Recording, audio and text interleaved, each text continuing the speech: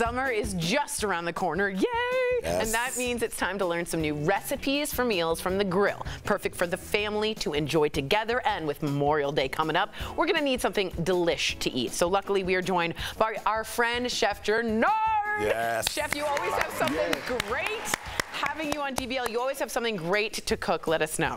We're about to make a barbecue scallop summer salad.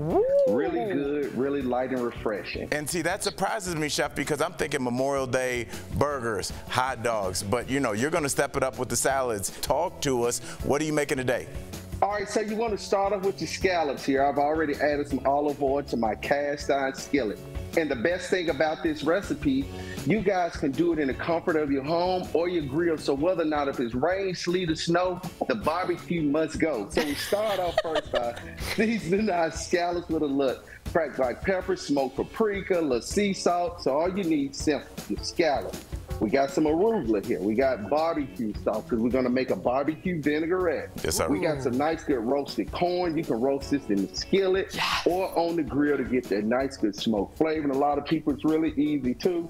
When cutting corn, I always say, get fresh corn, grill it, sear it, whatever you want to do, and get you a nice, good, ah. sharp knife. And you see how simple that is, Yeah, guys? yeah. Now we That's got summer. cool little kernels, nice, good, it's roasted.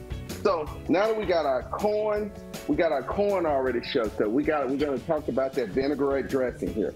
So first we start off with our barbecue sauce. Now you know I like mine, the Smoky Whiskey River. Okay. Gonna give these scallops a good little turn too. We're gonna add in Worcestershire sauce. Nice wet. It's hard to say that. in- Worcestershire. That's good. I Well like said. You say it fast. Yeah. We got brown sugar. We're gonna add in some minced ginger, guys. That minced ginger really adds the acidity, brings out the flavor. We got here rice wine vinegar. Yum. Now we got those, and then of course we're adding olive oil to it because what we're making, we're making a barbecue vinaigrette dressing for the salad. It's really festive. It plays into it. It's nice and refreshing because you know the barbecue around the barbecue table, the place now they look so different. You know, we know we got our ribs, we got our steaks, we got all of the plethora of things, hot dogs, burgers, like you said, Al. But what about the salad? It's mm-hmm. about kicking them up a notch. So as you can see here, check it out. That, That looks is coming so together. good. Okay, so chef, Yes. now that the dressing Tori, is I'm ready, almost like reaching. I know he like handed it to us. Please. Now that the dressing is ready, what are you gonna do next? Now that it's together, we're gonna add in our arugula right on uh-huh. top of the dressing. Got it. We're gonna fold in our roasted corn. We have some nice good edamame, which is really good. Very super We're gonna add in our edamame. We got cherry tomatoes. Yeah. We're gonna fold those in.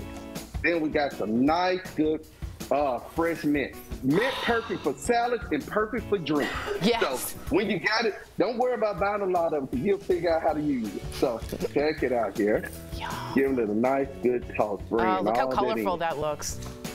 Yes, vi- vibrant, so Yeah. vibrant. So now that we have those colors together here, now it's time to just go ahead and add it right into your bowl. And you know, you can make your salad as big as you desire.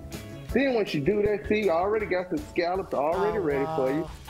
We Look just at that load some all come together. Right Come on there, on. we're gonna sit them right there. Now that we have those, I always say, finish it off with a little more. If you got extra barbecue, finish it off with a little drip of barbecue, Yum. little of the season, more lime, guys. That is acidity Yes. is key during the summer. That looks so good.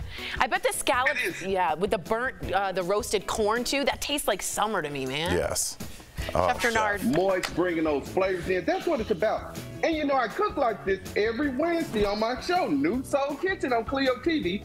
So not only do I cook like this at home, I'm giving those tips and tricks on TV.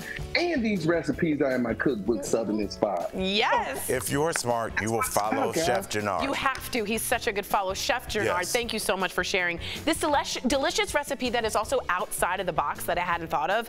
To our viewers, as he said, you can see the full recipe on our website, but make sure to follow Chef on social at Chef Jernard to check out all of and the watch him on CLEO TV on Wednesdays. Wednesdays. What a plethora of wonderful things he's doing. Chef, thank you so much. We appreciate you.